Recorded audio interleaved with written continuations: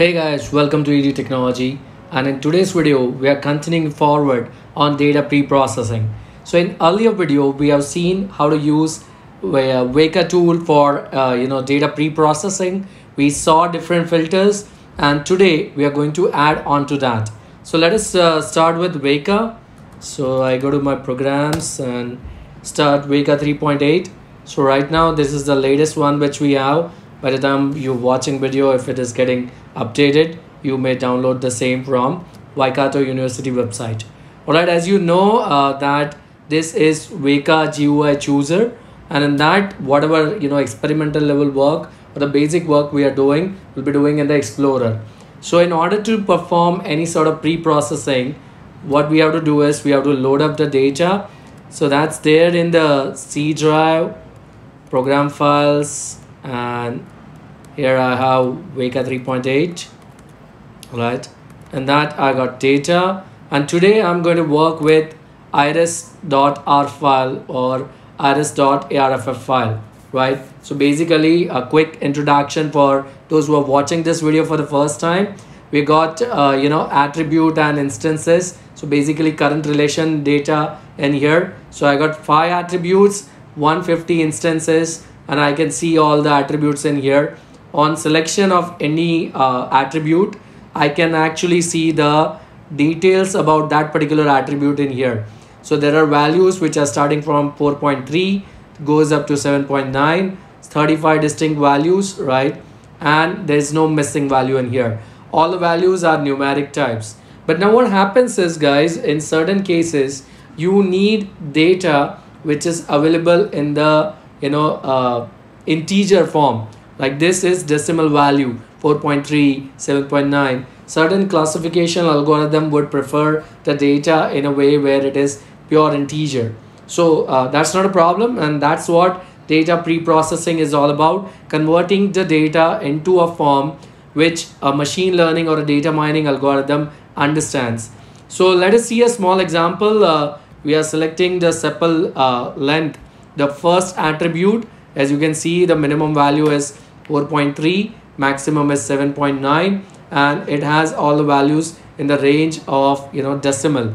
In order to check this value we'll do one more thing. I'll go to my C drive. I'll go to the program files. There is Weka data and there is iris yeah. So when I open this file with the notepad yeah. So uh, we have seen and we have discussed this in earlier tutorials so if you're not referred i would suggest you to see it. Again otherwise you know you're watching this for the first time. This is our file attribute relation file format. So it gives you all the details of the title of the file what are the sources past usage and what is important for us is from here this particular section the file begins and an R file or an ARFF file basically contains three section. One is relation section second is attribute section and third is the data. And in here if you scroll down to see the data this first particular uh, value is related to the sepal length. And as you can see it here in each of the attribute instance we have values in numeric form which is having decimal values right so this was for your basic understanding and let us go back to Weka so we have selected sepal length. We apply pre-processing filters. In this, we are going to work with, you know, we are trying to convert this into integer values. So we will be using unsupervised attribute and when you scroll down here, somewhere in between, you will see numeric transform. So this is the uh, particular filter which we'll be using. And as soon as you uh, choose the filter you can apply in here. So application is done but there is no change in here. So why is there's no change? We'll see that. So on the white space in this filter area once you click you will have a dialog box. This dialog box allows you to edit the particular filter because as I mentioned earlier in the videos also this Weka tool whole Weka tool is actually coded in Java and all the other uh, you know functions fil filters or even machine learning algorithms are coded in java So with the help of that, I'll be modifying this filter.